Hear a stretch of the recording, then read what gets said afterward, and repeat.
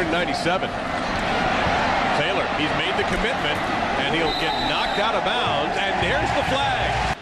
Against Taylor out of bounds. Personal foul. Unnecessary roughness by helmet contact against the defense. 15 yards. Automatic first down. I don't like that call at all. Now let's see if he gets to the sideline in time. I don't